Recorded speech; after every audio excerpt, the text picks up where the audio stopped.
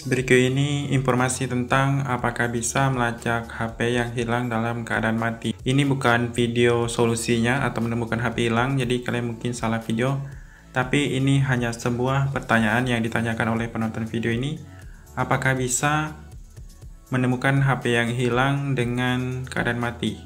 Sebenarnya fitur mencari perangkat yang hilang itu yang ada di bawaan HP ataupun oleh Google sendiri namanya temukan perangkat saya. Nah, seperti ini, aplikasi ini kalau digunakan dia butuh jaringan internet yang pertama. Kedua, butuh akses lokasi. Ketiga, tentunya perangkat harus aktif. Jadi kalau tidak aktif itu tidak bisa. Bisa kalian di sini untuk akses izinnya, akses jaringan, kemudian akses lokasi.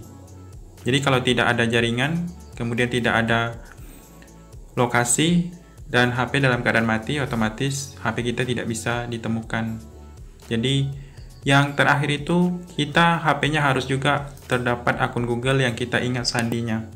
Kalau HP hilang itu biasanya kan kalau orang temukan itu direset ke pabrik sehingga akun Google yang ada di HP kita ikut terhapus. Nah, kalau sudah seperti itu, apa pun caranya tidak bisa dilacak.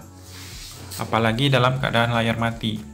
Kemudian yang melacak HP lewat email itu untuk sekarang belum diketahui apakah ada layanannya oleh operator. Biasanya kan kalau pihak berwajib itu melacak seseorang pasti lewat ponsel. Walaupun ponselnya diganti kartu tapi email HP-nya diketahui di mana pun email tersebut aktif atau HP-nya aktif pasti bisa dilacak juga. Nah, itu hanya pihak operator yang tahu. Kalian bisa tanyakan apakah operator yang kalian gunakan itu menerima jasa pelacakan HP berdasarkan email. Tapi kalau melacak HP dalam keadaan mati itu tidak bisa sama sekali karena tidak ada aplikasi yang didesain untuk melacak HP yang sudah off.